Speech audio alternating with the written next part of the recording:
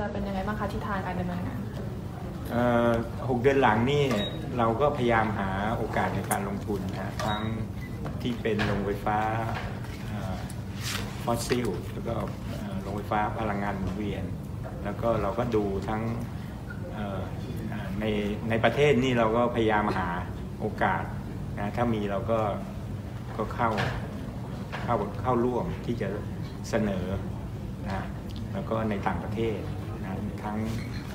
เอ่อในภูมิภาคเอเชียแปซิฟิกครับอย่างในต่างประเทศที่ตอนนี้ที่ศักยภาพที่เรามองอะค่ะว่าเราจะไปที่ไหนบ้างอะคะอย่างที่ตอนนี้ที่เราคือที่ผมเรียนให้ทราบก็คือเราที่ไต้หวัน เราก็พยายามไปเสนอเออเพื่อจะได้รับการลงทุนที่นั่นนะก็เป็นพลังงานหมุนเวียนครับอันนี้ แล้วก็มีศักยภาพเยอะ แล้วก็ที่เวียดนาม เวียดนามเราก็เอ่อกำลังพิจารณาอยู่นะครับมองตลาดของเขาเป็นยังไงบ้างคะก็ที่ถือว่าอย่างเวียดนามนี่ก็มีศักยภาพ แล้วก็อีกอันที่อาจจะลืมพูดถึงก็คือพม่านะตอนนี้เอ่อเอ่อพม่าเวียดนามนี่ถือว่ามีศักยภาพในในในบริเวณรอบบ้านเรานะครับ ปัจจุบัน EGCO มีกำลังการผลิตทั้งหมดเท่าไหร่ครับ 5,100 เศษเศษๆนะฮะครับตั้งเป้าว่าจะมีกำลังการผลิตกำลังการผลิตเพิ่มเท่าไหร่ครับ คิดระยะเวลายังไงครับเอาสิ้นปีนี้ก็ได้ครับสิ้นปีนี้ก็อย่างน้อยก็มีเท่าไหร่เมื่อกี้สอง unit อีกสามร้อยแปดสิบไม่ตรงกันอ่าที่อย่างน้อยก็มี2ยูนิตแล้วที่คือไซยบุรีกับ SDPL นะ300กว่าสามร้อยแปดสิบอ่าครับครับ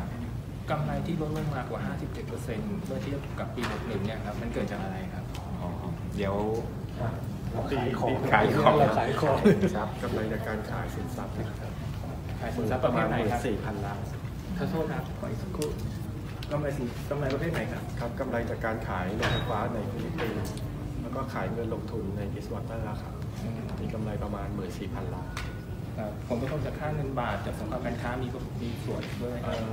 ไหมคเอ่อไม่ไม่กระทบคือเพราะว่าเราจะเป็น matching ระหว่างรายได้ กับค่าใช้จ่ายในเรื่องของเอ่อสกุลเงินนะครับโดยที่เห็นในงบที่มันมีผลกระทบเนี่ยมันเป็นไปตามมาตรฐานบัญชี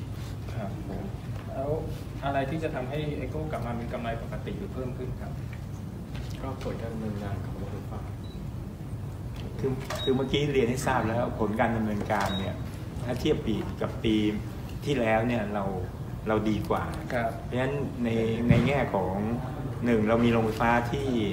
เพิ่มเข้ามาครับนั่นหมายถึงว่ารายได้เราก็จะมีมากขึ้นครับผมนะครับ แล้วก็ในขณะเดียวกัน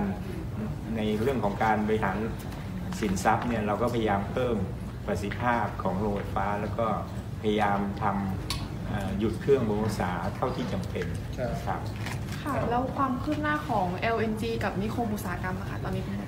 บ้าง LNG เราเราเความคืบหน้า LNG นี่หมายหมายเอ่เอานิคมอุตสาหกรรมก่อน เมื่อกี้อย่างที่ทางคุณอนิชาได้เรียนให้ทราบ มันก็อยู่ในช่วงของการศึกษาทำรายงานผลกระทบสิ่งแวดล้อมนะครับ แล้วก็แล้วก็มีการอออะไรนะ รับฟังความคิดเห็น นะอยู่ในโปรเซสอันนี้แล้วก็เอ่อ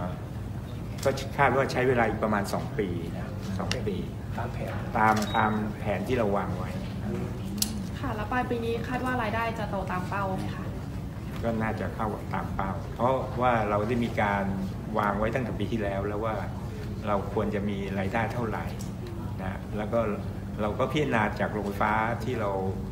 ดูแลอยู่บริหารอยู่นะแล้วก็ กำกับดูแลเพื่อให้ได้ตามเป้าที่เราวางไว้ครับเอโก้มองธุรกิจตัวอื่นนอกจากไฟฟ้าไว้บ้างไหมครับมีฮะแต่ว่าตอนนี้ยังคุยให้ฟังไม่ได้ เพราะว่าถ้าคุยไปเดี๋ยวเอ่อเดี๋ยวผมนี่ก็โดนดูอีกนะคิดคือว่าจะฮะอ่าใช่ครับที่เป็นเกี่ยวกับอะไรคือคือคือถ้ามีความชัดเจนเนี่ยผมคงมาเล่าให้ให้ฟังได้ครับคิดว่าจะไปลงทุนคนเดียวหรือจะลงทุนอ๋อจากคงเมืองไทยไหม คงมีต้องมี partner นะฮะโดยเฉพาะถ้าเกิดในกรณีเราต้องไปต่างประเทศเนี่ยสิ่งสำคัญคือเราเข้า partner เป็นสิ่งที่เราต้องหาให้คือหาให้ถูกถูกคนนะถ้าเราหาถูกคนการลงทุนก็อย่ามีประสิทธิภาพการที่จะไป